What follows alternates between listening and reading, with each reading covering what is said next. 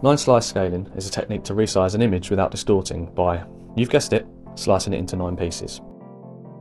First, we're going to make the pixel art image to be nine sliced. I use Pixly on my Android phone, it's free and pretty good. First, create a new image, and this is easiest if you choose a width and height divisible by 3.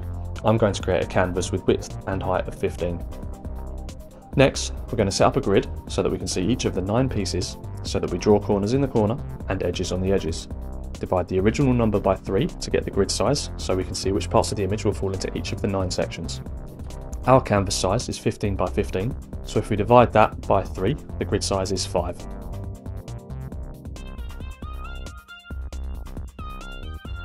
So now we're just going to draw the image that we are going to use, and once that's saved, we're going to open up Godot and import that image into it. So I've already loaded the image into a sprite, and you can see how this distorts and stretches and this is exactly the issue that 9 slicing resolves. We can load the image into the 9 patch rect in the same way as a sprite. After that all we need to do is set the patch margins in the inspector. These will be the same values as for the grid earlier, so left, top, right and bottom will all be set to 5 pixels from the edge.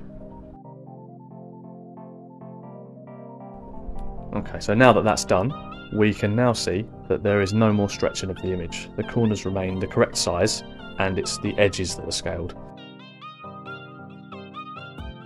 Some applications for this would be dialog boxes or various UI elements and if you can think of any other applications please leave a comment.